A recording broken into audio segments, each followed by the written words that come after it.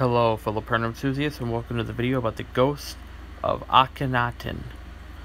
Akhenaten was a pharaoh um, of Egypt who reigned from the 1350s to the 1330s BC.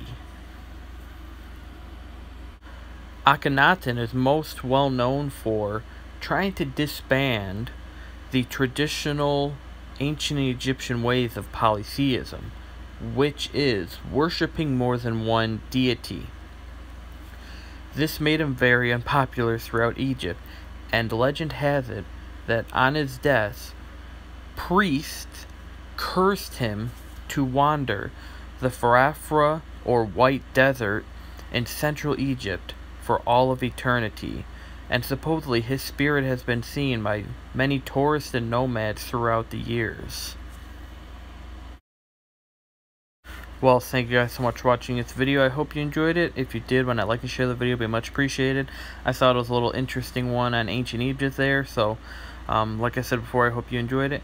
Um, if I'm on Twitter at the Ghost Watch, um, if you're on Twitter, why not follow? I also have a Twitch at Madfire Gamer, which we're using a lot more. And if you want to see more of my content, why not subscribe and follow for more paranormal activity. And I'll see you guys later. Bye bye.